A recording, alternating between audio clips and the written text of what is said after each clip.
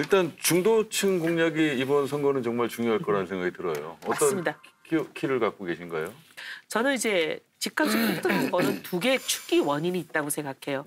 문정부가 이제 24번의 부동산 대책을 한개 공급을 줄이는 방향으로 갔기 때문에 집값이 올랐다. 이게 이제 제가 늘 주장하는 거잖아요. 네. 근데 또 하나 축은 박원순 시장님 시절에 26만 원 공급이 무산이 된 거는 제 주장이 아니라 서울시 의회 보고서니까 이건 객관적일 거예요. 근데 이렇게 공급을 무산시킨 양대 축이 있는 거잖아요. 근데 이제 박원순 시장님이 공급을 26만 원 무산을 시켰을 때 그걸 제가 393개 재건축 단지를 다 조사를 해봤어요. 했더니 놀라운 거는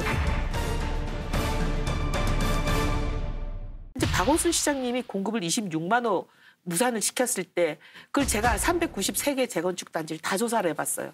했더니 놀라운 거는 강남구에서는 0.1%만 무산이 됐어요. 근데 성북구에서는 12.5%나 무산이 됐어요. 성북구뿐만이 아니라 대부분의 강북구가 비슷해요 상황이. 근데 이 얘기는 뭐냐면 재건축 재개발을 오히려 강남을 더 묶었을 줄 알았는데 강남은 별로 묶은 게 없고 강북이 대부분 묶이고 무산이 돼버린 거예요. 이게 어떻게 보면 강남북 집값 격차를 더 늘리는 계기가 됐고 여러 가지 어떻게 보면 강남북 격차를 결과적으로 버린 시장님이 되는 거예요. 그래서 저는 이거를 줄이는 역할을 하겠다. 네. 그게 이제 중도층이 제일 관심이 있을 것 같고 아,